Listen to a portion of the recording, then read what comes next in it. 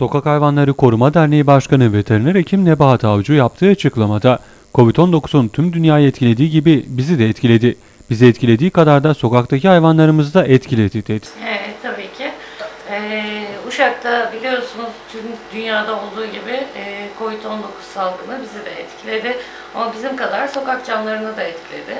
Yemek aldığımız, yemek e, temin edebildiğimiz maalesef e, kafeteryalar şu an kapalı. Yemek temin edebildiğimiz birçok kurum kuruluş kapalı.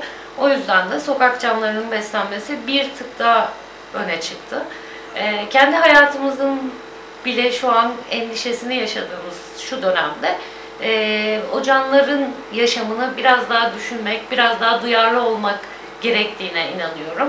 Ki insanların hayatı olan e, hayata verdiği değerin arttığını düşünüyorum.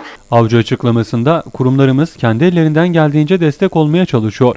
Tarım ve Orman Müdürlüğümüz, Doğa Koruma ve Milli Parklar Müdürlüğümüz ellerinden geldiği kadar arkamızda durmaya çalışıyor ancak bu sadece kurumlar olarak yeterli olmaz. Belediyelerle yeterli olmaz. Halk olarak da harekete geçip bu sokak hayvanlarına sahip çıkmalıyız dedi. Has- e, hayvanlarımız, canlarımız sıkıntıda.